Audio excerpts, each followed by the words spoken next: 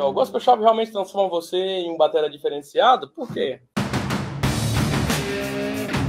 A minha resposta é sim. O Shops transformou a minha vida, né? É, eu sou grato a Deus, às pessoas que se identificam com a minha forma de tocar. E antes de mais nada, eu quero dizer que é uma grande verdade, né? O que eu expresso para vocês aqui é o que eu vivo no meu cotidiano, é o que eu vivo aqui no meu instituto, é a, a música que já soa em mim, o que eu respiro é isso aqui.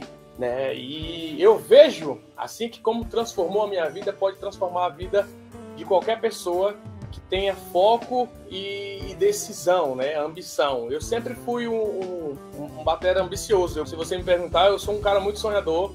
Eu gosto de estudar muito meu instrumento, tá aqui ouvindo música, então eu sugo isso, eu me alimento disso, do gospel shops, eu me alimento só de música boa, gosto mesmo, e, e procuro, com, com, a minha verdade, conquistar o maior número de pessoas possíveis. Claro, fico muito feliz, muito feliz mesmo quando chega um depoimento, quando chega um comentário de alunos, né, de pessoas que viram a videoaula. Cara, não conseguia tocar isso, agora eu tô conseguindo tocar, já tô conseguindo aplicar o gospel shops em outros segmentos, na igreja, bateras de forró, vários bateras agora de sertanejo também me agradecendo pelas videoaulas. Então é assim, transforma, transforma as vidas é, é, é, esse estilo, assim como qualquer outro também, entendeu? Eu não faço preconceito, não tenho nenhum tipo de preconceito com nenhum estilo.